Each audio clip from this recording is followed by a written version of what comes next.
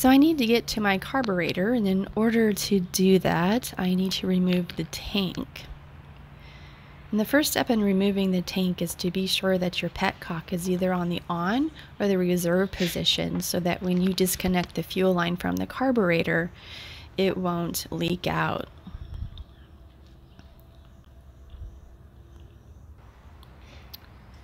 The fuel line as it goes into the carburetor has this little kind of like clippy clamp so you squeeze it to loosen it and then slide it up.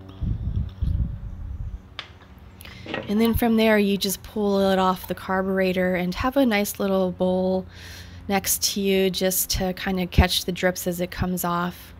And then once that's drained out, go ahead and reach for your bigger one, your bigger container, and switch the petcock over to prime to drain the rest of the gas out of the tank. And to keep it from dribbling, um, like I did, um, shake the hose a little bit inside the container um, before taking it out of the container. And then go ahead and put the petcock back on the on or reserve position to prevent more the, the what's left in the tank from draining out. Now I'm going to go to the other side of the bike and disconnect the speedometer cable. It's this big thick cable here attached to the engine. I'm going to get a pair of pliers just to start it out.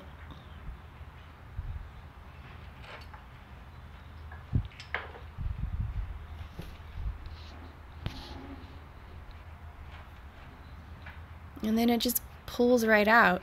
It's kind of like this long, narrow tapering cable. It's kind of interesting. Sorry, this is my first time doing this, so it's kind of an exploration for me as well.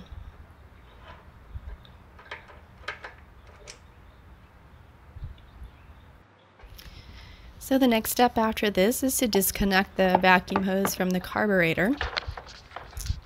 There it is right in there. Um, I'll have a better picture of it coming up um, shortly. Um, it's kind of that one right there with the coil wrapped around it. And it has a butterfly clip on it that's um, keeping it connected. So with the butterfly clip, it's the clip that you don't really squeeze together. Um, you actually separate it to loosen the clip. So I've used a pair of needle nose pliers to stick in there and spread it apart to loosen the clip and then slide it up.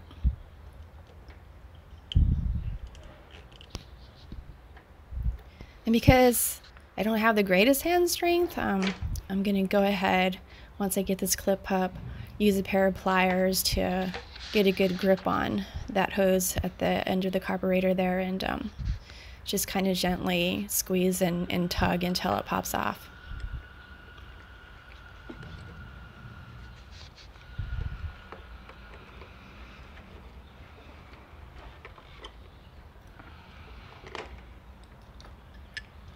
And then I'm going to go ahead and push that through to the other side so that it doesn't get hung up when I lift the tank off.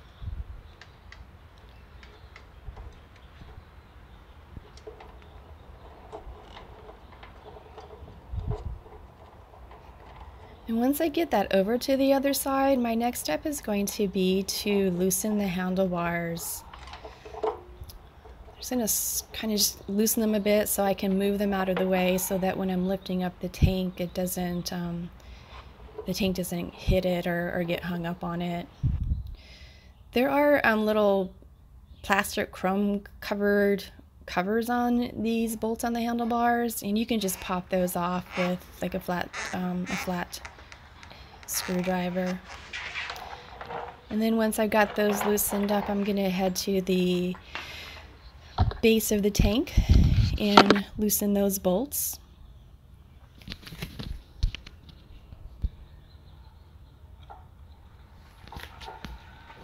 And once those are loose, I'm going to go ahead and lift up the tank here.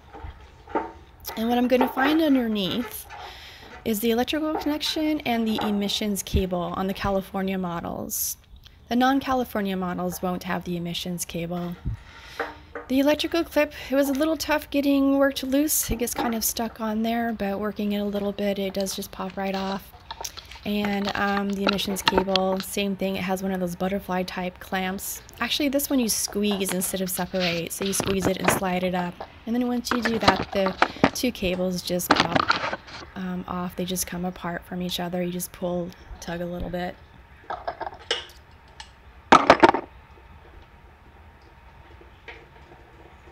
And voila, the tank is off.